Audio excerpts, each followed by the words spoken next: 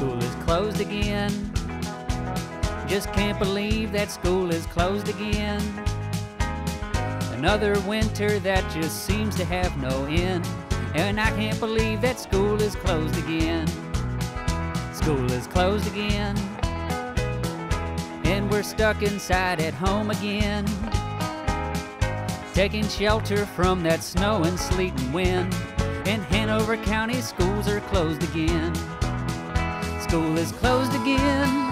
We're all waiting for that text to scroll on TV and on Twitter too. At TV 99 is where you'll get the news, so you can hit the snooze. School is closed again. Just can't believe that school is closed again.